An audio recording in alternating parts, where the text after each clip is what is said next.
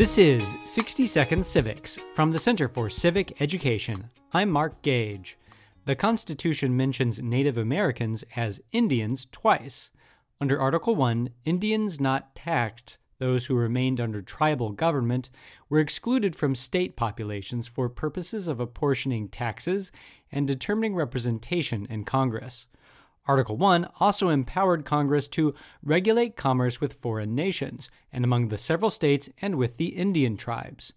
These provisions reflected the position of the framers, confirmed by opinions of the Supreme Court, that Native Americans were not citizens of the United States or the states in which they resided.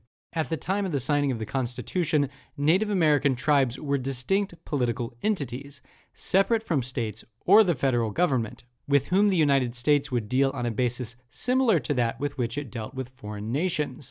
Native Americans' early relationship with the federal government affected their rights in profound ways. They were considered foreigners and were frequently treated as enemies. They were not citizens and had no right to vote. That's all for today's podcast 60 Second Civics, where civic education only takes a minute.